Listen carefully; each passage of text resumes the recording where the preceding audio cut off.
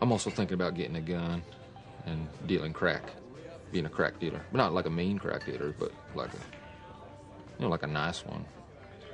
It's kind of friendly.